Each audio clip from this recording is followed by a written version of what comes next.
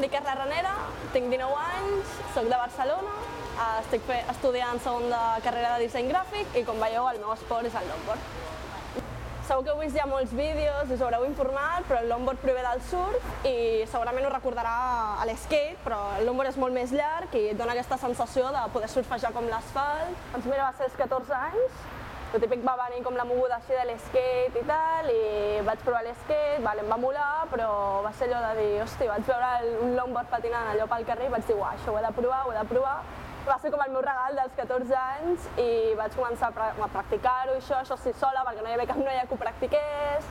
Els nois potser anaven molt amb l'skate i tal, i era posar-me els auriculars i anar a patinar per Barcelona. A veure, ara n'hi ha moltíssims.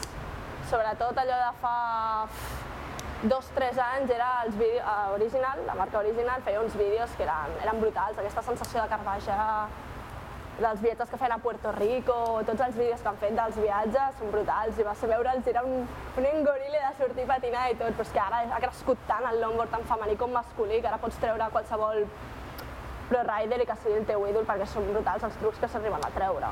Uah, seguir patinant sempre, ho tinc claríssim, però és que passar d'arribar als 30 anys, arribar als 40 anys, a no sé que tinguis una lesió allò bèstia i tal, seguir patinant. Doncs bé, clar, dic que estic estudiant disseny gràfic, però vulguis o no, m'agradaria molt vincular els esports extrems amb el disseny gràfic, perquè és, seria el meu somni, saps? Però és molt difícil.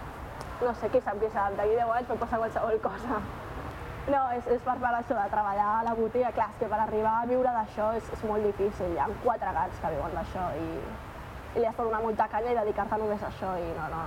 A veure, com que és això, com tinc les unis pel matí, algunes tardes això ja treballo i tal, doncs és potser una mica més xungo i és allò dels fines a muerte, patinar ni que sigui sola això, eh? sola música i Montjuïc i vinga a fer baixades. A veure, cada dia, vulgui, m'agradi o no, és que allò de surto a patinar perquè és el que em fa sentir bé, ja és que és un, és un medi de transport, ja no és ni agafes ni el metro ni el bus, és que ja, la, ja agafes la taula. Mínim mitja hora estic a la taula, és que ja cada dia, llavors per això és un, una cosa que forma part de mi. Entrenament no estàs allò d'en plan avui m'aixeco i me'n vaig a entrenar. No, no, avui vaig a patinar i a disfrutar, que és, és diferent.